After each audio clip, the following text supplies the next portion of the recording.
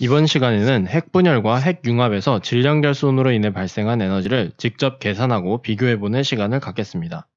대표적인 핵 분열 반응으로는 우라늄 235가 크립톤과 바륨으로 분열되는 과정을 핵 융합 과정으로는 중수소와 삼중수소가 융합되어 헬륨이 되는 과정을 다루겠습니다.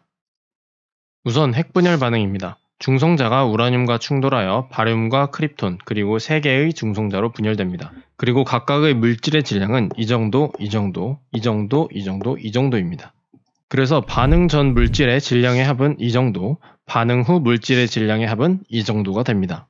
반응 전 물질의 총 질량에서 반응 후 물질의 총 질량을 빼면 핵 분열 과정에서 0.215405U에 해당하는 질량 결손이 발생했다는 것을 알 수 있고 이 값에 이전 영상에서 유도한 변환 값인 932를 곱하면 메가 일렉트론 볼트 단위의 에너지로 변환이 가능합니다.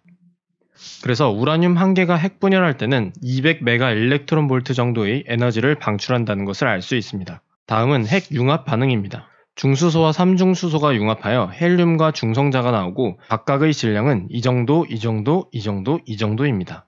핵융합 반응 전의 총 질량에서 반응 후 총 질량을 빼면 0.01882U에 해당하는 질량 결손이 발생했다는 것을 알 수 있습니다. 마찬가지로 여기에 932를 곱하면 17.598024 메가 일렉트론 볼트에 해당하는 에너지가 방출된다는 것을 알 수 있습니다.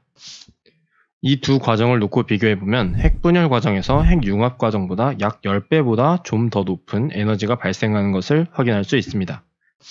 그런데 뭔가 이상하죠? 그동안 우리는 어디선가 핵융합은 핵분열보다 청정하고 훨씬 더 효율적인 미래 에너지라고 들었던 것 같은데 말입니다. 이는 당연한 결과입니다. 왜냐하면 핵분열의 경우가 반응 전 질량이 훨씬 크기 때문이죠.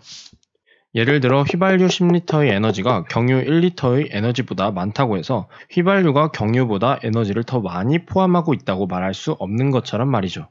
그렇기 때문에 핵분열과 핵융합으로 인해 발생하는 에너지를 제대로 비교하기 위해서는 같은 질량을 기준으로 발생 에너지를 비교해야 합니다. 그래서 지금부터 우라늄 235 1g과 중수소와 삼중수소 1g이 각각의 반응을 통해 발생시킬 수 있는 에너지를 계산해 보겠습니다. 1g의 우라늄 핵분열을 통해 얻을 수 있는 에너지는 1g 속의 우라늄이 분열하는 횟수와 한 번 분열당 발생하는 에너지를 곱하면 구할 수 있습니다. 그리고 마찬가지로 핵융합 1g의 에너지도 중수소와 삼중수소가 1g 있을 때 융합 가능한 횟수와 융합당 에너지를 곱하면 될 것입니다. 그리고 이미 한 번 분열당 에너지와 한 번 융합당 방출되는 에너지를 계산했기 때문에 분열 횟수와 융합 횟수만 구하면 됩니다. 우라늄 1g의 분열 횟수는 우라늄 한 개당 한 번의 분열이 일어나기 때문에 1g 속 우라늄 원자의 개수로 대체할 수 있고 마찬가지로 중수소와 삼중수소 한 세트당 한 번의 융합이 일어나기 때문에 1g에서 일어날 수 있는 융합 횟수는 1g 속 중수소와 삼중수소의 세트 수로 대체할 수 있습니다. 먼저 1g 속 우라늄 235의 개수입니다. 이전 영상에서 12U의 탄소 원자가 6.02 곱하기 10의 23승계가 있으면 12g이 된다는 것을 확인했었습니다. 마찬가지로 우라늄 235가 6.02 곱하기 10의 23승계 있으면 235.837192g이 되겠죠? 그럼 우리는 다음과 같은 간단한 비례식을 세울 수 있습니다. 6.02 곱하기 10에 23승계 있을 때 235.837192g이니까 x계 있을 때 1g이다를 풀면 되겠죠. 고로 1g 속 우라늄 235의 개수는 2.55 곱하기 10의 21승계가 된다는 것을 알 수 있네요. 이어서 중수소와 삼중수소 세트가 1g 속 몇 개가 있는지 구해보도록 하겠습니다. 아까와 마찬가지로 중수소와 삼중수소 질량의 합인 5.031551U 한 세트가 6.02 곱하기 10의 23승계가 있다면 5.03151g이 될 것이고 비례식을 세워 계산해보면 1g 속 삼중수소, 중수소 세트의 개수는 1.197181 곱하기 10의 23승계가 된다는 것을 알 수 있습니다. 그럼 이제 이 식에서 우리가 구한 수치를 대입한 다음 계산해보면 다음과 같은 에너지 값을 얻을 수 있습니다.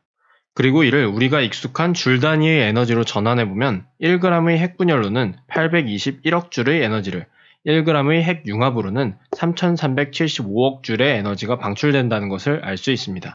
이는 약 1대 4의 비율이고 다른 에너지원과 함께 다시 비교해보면 1g의 수소 융합과 동일한 에너지를 발생시키기 위해서는 4g의 순수한 우라늄 235가 필요하고 원유 1kg당 42.2메가줄의 에너지가 발생하기 때문에 같은 양의 에너지를 위해서는 원유 8,000kg이 필요하고 석탄 1kg당 20.6메가줄의 에너지가 발생하기 때문에 같은 양의 에너지를 위해서는 석탄 16,080kg이 필요하다라고 말할 수 있습니다.